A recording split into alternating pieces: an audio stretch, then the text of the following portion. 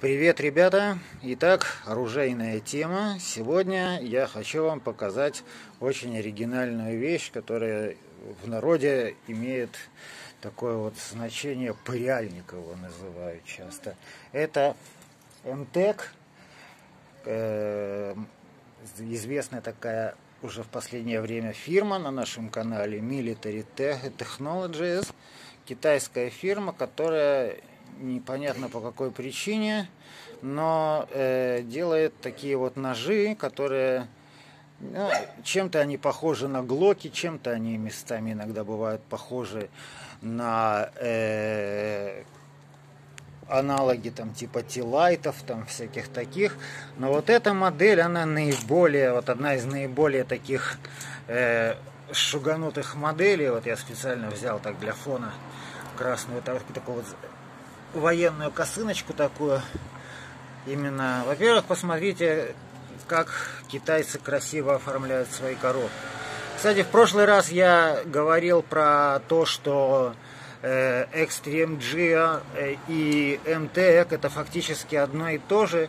И на самом деле все верно. Это все, во-первых, это все принадлежит э, United Cutlery, то есть это корпорация, в которой э, больше 50 брендов, начиная от Кабара, от МТК и кончая чем угодно. Поэтому, если у вас попался нож Extreme Gear, то он будет, скорее всего, э, полностью дублировать МТЭК. Дело в том, что МТЭК действительно разработан дизайн в США и действительно производство в Китае. Э, и, в общем-то, это такая вот наиболее такая вот боевая. У меня знакомство с этой фирмой началось с того, что я вообще-то купил такой вот э, ихний MT575, про который я уже неоднократно здесь рассказывал. Э, но я перепутал, я думал, что это микротек. А оказалось, что это совсем не микротек, что это совсем другое, но вот мы видим здесь солдата классического премиум дизайн, солдат американской армии, винтовка Colt M16 штурмовая. Вот. И здесь мы видим вот этот вот кинжал. Да, в последнее время очень модно, как бы я слышал вот, э, вот это выражение кинжал, кинжал, кинжал все вот так вот любят эти кинжалы. На самом деле, ребята, с кинжалами дело такое. Кинжал в 90% случаев является холодником. И если у вас есть эти разрешения или что-то такое, и ваши законы как бы позволяют это все это самое, то как бы нет преграды, как бы, как говорится, да, с одной стороны. А с другой стороны, если у вас с этим как-то так не пойдет, то как бы соответственно. Вот, поэтому сейчас секундочку сделаем на паузу. Извиняюсь, немножко прервал, потому что тут э, радикулит, как бы все такое, не всегда удается держать. Э, для новичков мои длинные ногти обусловлены моей профессией. На левой руке их нет. Я гитарист на самом деле. Я не только снайпер спецназа, я еще и гитарист. Точнее, я уже давно не, не снайпер спецназа, я всегда был только гитаристом. Вот. Это уже мои, так сказать, э, приделки. Итак, что из себя представляет вот эта вот модель MTEC Extreme?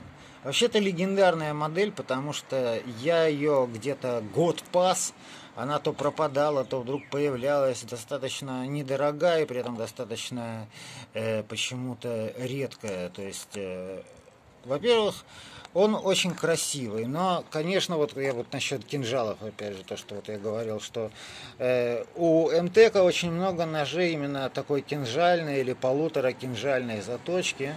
Э, почти у них много, они очень любят делать вот эти вот штыки, но по сути дела, как бы вот такой вот нож, я их называю пыряльник, то есть резать он как бы не особо будет, то есть будет, но не очень охотно. Таким ножом это вот то, что называется сапожный нож, то есть последний шанс. Это когда вас уже, так сказать, замучили совсем, и вы из последних сил выхватываете вот таким вот движением из сапога вот этот вот нож и как бы кинжал, и это как бы кинжал идет уже только как пыряльник, то есть только для охоты на Homo sapiens и Homo neanderthal, если верить одному товарищу.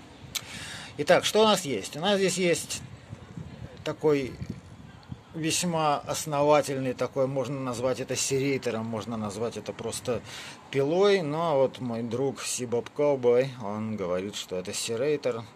Сибоб Ковбой прошел Вьетнам, человек, ветеран э, армии, реально прошедший всю эту мясорубку который действительно мой хороший друг. Э, он живет в Пенсильвании, настоящий ковбой, на самый что ни на есть настоящий. Мой такой единомышленник, в общем-то, Союз ветеранов международный, как бы это очень интересная организация. И, ну, я не буду раскрывать все э, подноготные, как бы, тем более, что ничего в этом интересного нету. Э, просто круг интереса. Итак, что мы имеем? Сталь 440. МТК не любят использовать дорогую сталь, либо это 420, либо 440. Насколько она хорошая, это 440С, насколько я понимаю.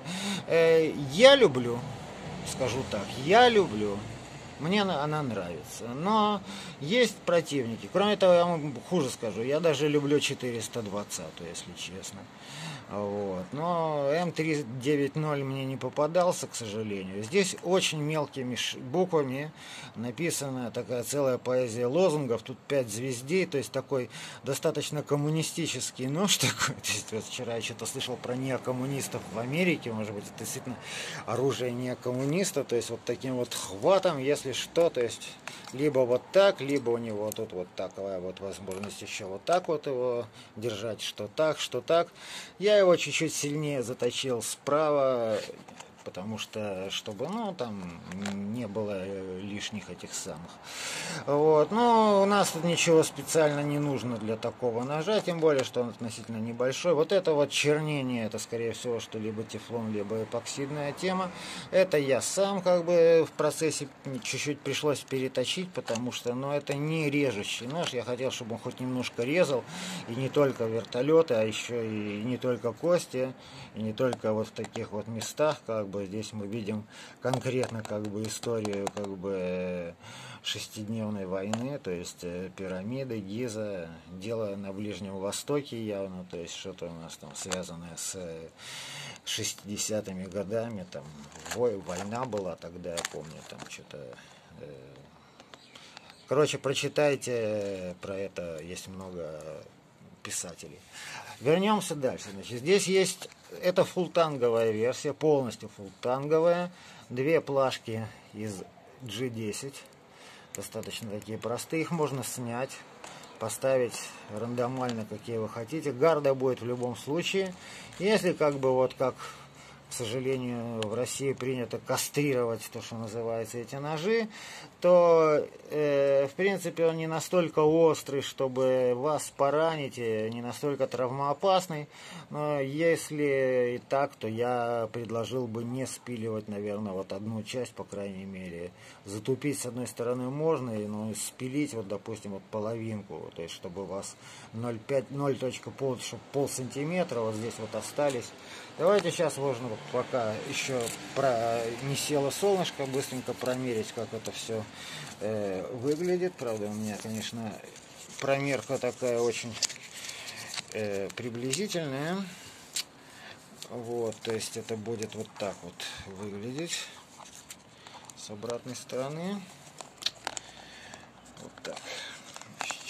Хотя, если я вам скажу наизусть, никто на меня ведь не обидится, верно?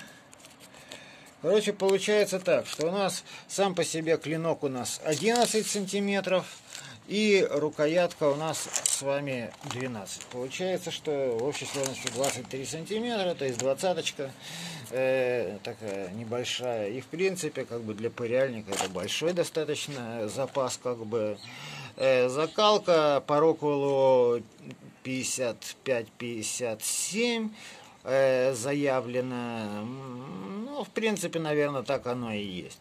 Теперь, если у вас аварийная ситуация или что-то, щечки можно снять, заменить на деревянные, у вас все равно останется рама. 440 сталь, она, в принципе, не так просто э, ломается. Я никогда не видел краш-тестов с этими ножами. Вот. Здесь имеется дол, кровосток. Вот такой вот кровосток, по нему прям такая вот должна быть такой водопад крови. На самом деле дол, но я очень люблю ножи с долами, потому что они легче, потому что они красивее. Ну и вообще есть в нем такая, знаете, такая вот красота в этом деле. Ну, темлячок я сам, конечно, сделал. У меня просто, сами понимаете, свои паранойи на этот счет, как бы, что упадет на керамику, собьется, как бы, острие, придется перетачивать, и потом хрен такой второй найдешь. Я его нашел с опозданием в год из-за этого чертова ковида, как бы. Вот, то есть это, этот нож очень легко носить в сапоге. Вот это вот тот самый вот сапожный нож Варик Викернес. В свое время говорил, что он убил Еронимуса сапожным ножом. Вот что такое сапожный нож. Это не ножик, которым сапоги делают. Это нож, который лежит в сапоге, чтобы в случае чего со всего маху в лоб им вот так вот дать к сожалению, моя физическая форма сейчас не позволяет показать это как бы красиво. Вот. Но, тем не менее, как бы вот такая вот интересная, красивая тема. Вот. С очень хорошими, как ни странно, ножными. На поверку ножны оказались высший класс. То есть, что значит высший класс? Это означает, что это кожа, это кожа, еще раз это кожа. И здесь такая вот застежечка с хлястиком таким, то есть э, цепляется она на любой ремень, на любые штаны, хоть спортивные, хоть какие. Э, абсолютный тактический нож, то есть его не видно, как бы его будет не видно. Они есть разных цветов, они есть синие, они есть э, зеленые, они, вот, по-моему, чисто черных только, по-моему, нету. Вот. Но в данном случае, как любой тактический нож, хотя он и сделан для как бы с какой-то красотой такой своей, то есть его, в принципе, не стыдно повесить на стену как украшение, да, но э, с другой стороны, это все-таки кинжал, это холодняк, поэтому какой бы он ни был, в обухе у него 3 миллиметра есть, как бы, и как бы, во-первых, во-вторых, как бы двойная заточка, в общем, не знаю, не знаю. У меня есть Смит Венсон, вот такой вот HRT, вот он не холодное оружие, но я его купил, во-первых, не в России, а на Украине, во-вторых, не я его купил, э, это мой друг мне его достал через магазин Нажиман, но Нажиман мне не станет продавать холодняк. Э, кстати, они мне ничего особенно не платят, это все за то, что я сейчас упоминаю, я их не рекламирую, просто хороший магазин магазин, так вот, ну, посмотрите, нажиман.ком, там хорошие реплики, просто так. Э, мне никто эту рекламу не оплачивает, я их не собираюсь рекламировать, просто знаете, что меня спрашивают, вот где достать такой, где достать такой, на нажимане часто вот есть такие вот хорошие вещи. Может быть, даже найдете что-нибудь такое. Это недорогой нож, это недорогая вещь, это 40 баксов, может быть, максимум. Вот. Но у нас они взвинчены очень сильно, но он тоже стоил относительно недорого. Как бы. Вот такой вот не маленький, не коротенький. Надо будет как-нибудь сравнить его со Смит Венсоном. И еще у меня есть еще Фоксик есть э, итальянский, посмотреть. Они все, в принципе, очень похожи. Но этот вот, он хорошо сидит в руке. Мне нравится, как он сидит. У него вообще большая рука, поэтому для меня вот такой вот навершие, это очень важная тема. Ну, в общем, имеем мы вот такой вот оригинальный MTEC Extreme. Вот. И теперь я скажу пару слов на английском языке, а вам, я надеюсь, что э, было интересно как бы вот на него поглядеть как бы со всех сторон, пока еще солнце не село. Вот. И как бы, ну, смотрите, если у вас есть разрешение, то у кого есть дома сайга и все такое, тех, для тех матросов нет никаких вопросов. Ну а если у вас есть инстинктивный страх перед холодником и стражами порядка, то береженого Бог бережет, ребята. Лучше хороший мобильник и быстрые ноги. Я вообще не очень верю, что нож это хорошее средство для самозащиты. Ну ладно, это не есть э, тема нашего сегодняшнего э, разговора, это скорее просто мое наблюдение. Alright, so what we have now, now, now, today, after all my long, long, long story uh, with Russian, I will say a few words on English for my good friends, for you, Seabob Cowboy, uh, brother, be strong, be healthy, uh, please do your best. I wish you only to be strong as well as this knife. So what we have got here is military model MX 8059 USA stainless steel. It's 440. Uh, see if I remember it. USA Premium Design. Don't know what this is. What is a meaning of the word uh, premium in this context? Uh, and precision crafted. Precision crafted in China. Oh well. Uh, so many stars, pentagrams for metalheads. Uh, it's meaning that uh, this weapon can be can be even uh, uh, how to say it associated with uh, communism and McCarthy and it so so well. Look at the beautiful design uh, of this uh, blade. Uh, after all my researches, I found that Extreme Gear and Entech USA is the same company. It's all one in one. It's United Cutlery, of course. It's a boot uh, dagger, uh, actually dagger, but uh, it's a last chance dagger, let's call it this way. Uh, I have zoom here so I can move it.